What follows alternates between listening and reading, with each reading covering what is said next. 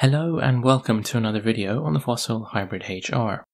Fossil recently released software version 5.0 and they've changed a lot of things which has made many people unhappy. The update is finally available for me, so in this video I'll show you what the current UI looks like both in the app and on the watch, and how the update changes things.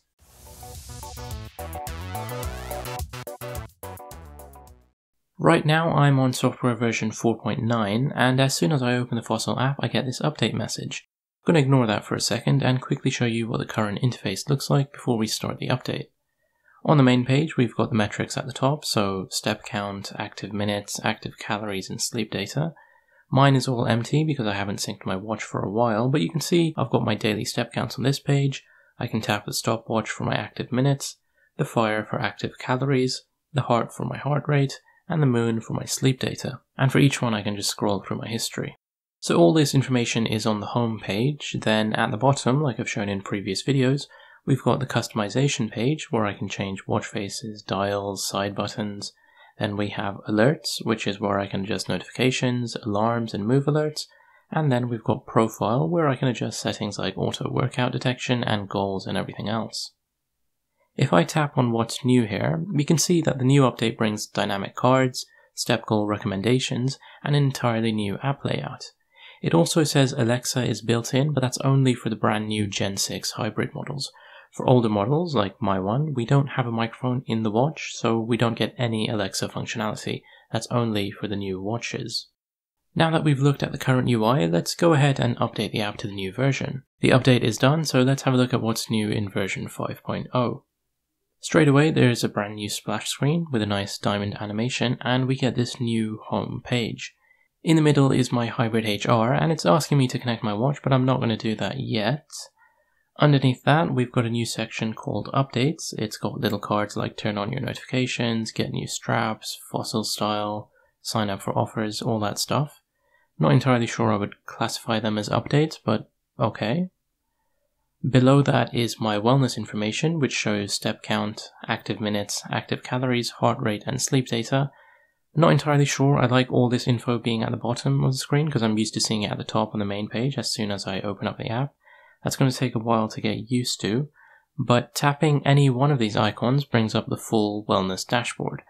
So this is kind of similar to the old UI where you can tap on the icons to see the details, and you can scroll through each one for your history.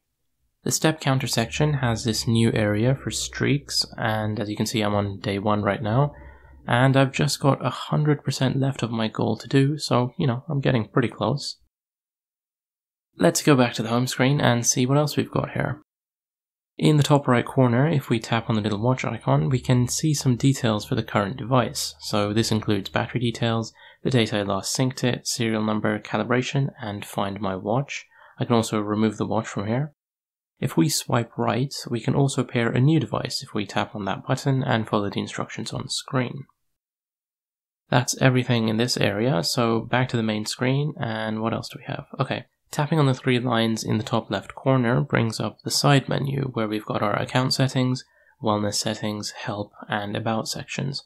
At the bottom, we can also log out of the app, and you can see here that I'm on version 5.0.1, which is interesting. I thought it was just version 5.0. Anyway, let's start at the top. Tapping on my name just lets me change my profile picture, name, and password. Wellness lets me look at connected apps, which is basically just Google Fit. Preferred units lets me switch between distance and temperature units. Tapping on profile brings up my date of birth, gender, height, and weight details. And then tapping on set goals brings up this menu to adjust my wellness goals. Dynamic goal is a new feature introduced in this update, and it basically adjusts the goal based on your previous fitness data instead of keeping it at a fixed number.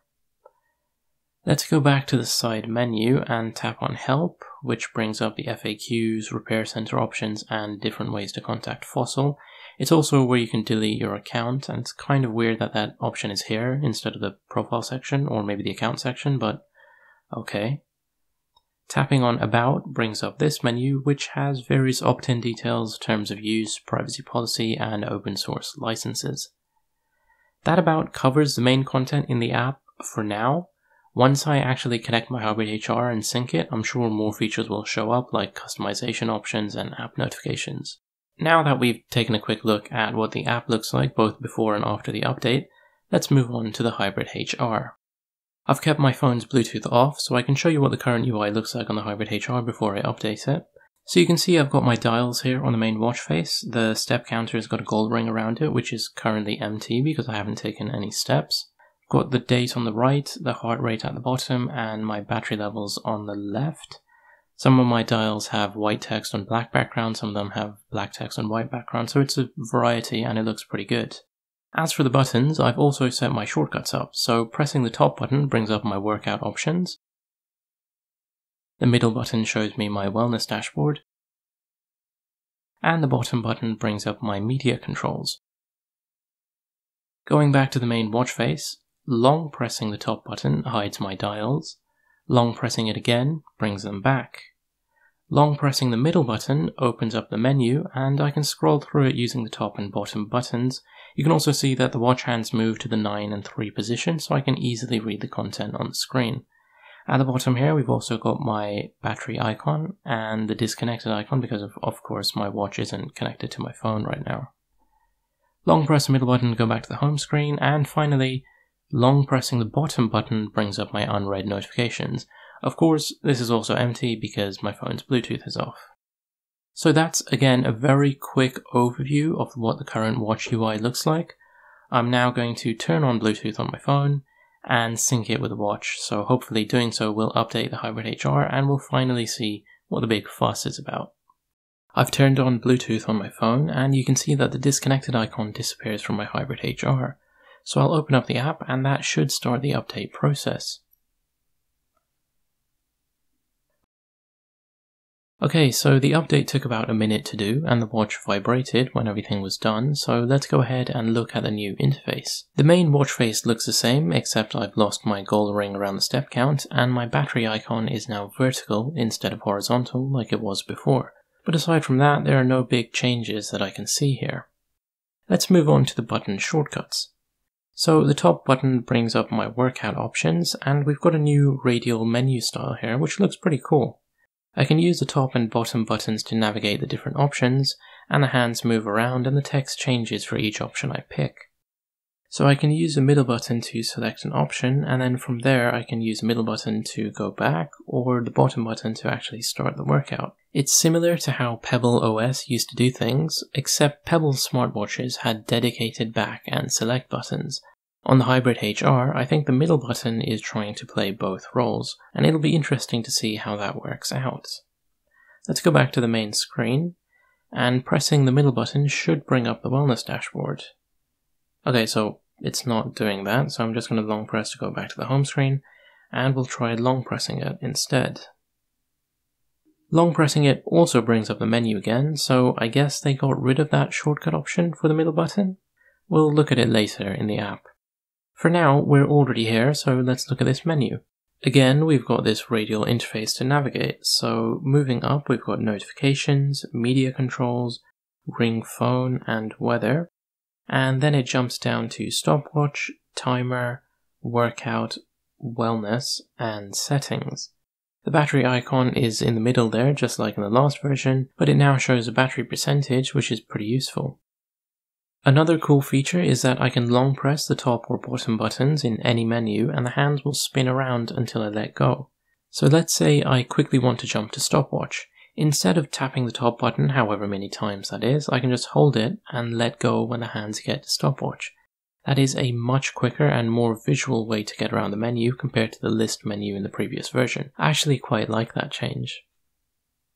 Let's go back to the main menu by long pressing the middle button, and now we can test the bottom button, which should bring up my media controls. Okay, so that shortcut button is working as normal, but the media controls look very different. We've got the top button to play paused music, and then the bottom button to access the rest of the controls like skip tracks or change volume. Now, this is just my first impression, but the media controls are absolutely terrible. It makes no sense to have multiple button presses just to change the volume or skip tracks. The skip track icons actually block the song details so you can't read that properly. And also, the skip track controls are backwards, which makes no sense. Usually, to go to the next track, you long press the volume up button. To go back, you long press the volume down button. Here, it's reversed and I don't know why. So based on the media controls only, I can definitely see why people might be upset with this update. But let's go back to the main screen and test out the long button presses. So long pressing the top button hides my dials, and long pressing it again shows them again. We already know that long pressing the middle button brings us to the menu, so long pressing the bottom button should show me notifications, which it does. This has also got a slightly updated look, and just like everything else in this update, instead of the hands moving to the 9 and 3 positions, both hands move to the 9 o'clock position so you can see the icons and the button controls on the right. So those are the main interface changes on the Hybrid HR. Let's see if any new features show up in the app now that it's connected to my watch. Looking at the home screen, I can now tap on my Hybrid HR, which shows me this updated customization screen. I can scroll through a bunch of watch face designs here, including my favorite ones, my recently used watch faces, and something called my style, which I think is watch faces that I've modified or made changes to, maybe. I'm not entirely sure. And then there's gallery, which includes the official fossil designed watch faces. We've got three light versions here, and the rest are just dark. I can then tap on the watch to customize it further, there are options for backgrounds, stickers, and text on the left. And on the right, if I tap on data, I can change the dials. Let's go back to the main customization screen, and I can tap on Pusher on the right, and that shows me my button shortcuts. So it does look like the middle shortcut is gone now, because we just have the top and bottom button shortcuts. That is a bit disappointing because I did use that middle shortcut quite a lot. So that's a quick look at the customization changes. And finally, we can look at notifications and alerts, which we can access by pressing the gear icon on the top right of the customization page. Here we've got alarms, which we can add and label using the button at the bottom. We've also got notifications, which let you choose what apps you want notifications for. I don't really see an option for customizing or choosing specific notifications for each app, it's just on or off. You can also choose which contacts to get notifications from as well as modify your quick responses. I don't see an option here to add a new response, so I guess you're limited to just two which you can edit. Back in the main menu, we can select wellness tracking, which gives you options for auto workout detections for runs, bike rides and walks, as well as a rowing machine. And we have the option for move alerts if you want to enable that. And I think that's about as much as you can do with notifications and alerts in this section. So as you can see, with the 5.0 software update, a lot of things have changed, both on the Hybrid HR and in the Fossil app. Some of the changes are good, some are not, and at least one of them is absolutely terrible. I'm still getting used to the update myself and going through all the different features, but if you have any questions, comments, or concerns, feel free to leave a comment below and I'll try to get back to you as soon as I can. As always, thank you so much for watching, and I hope you and your family are safe and well wherever you are in the world. This has been Zaeem Siddiqui from ZUS Reviews. Over and out.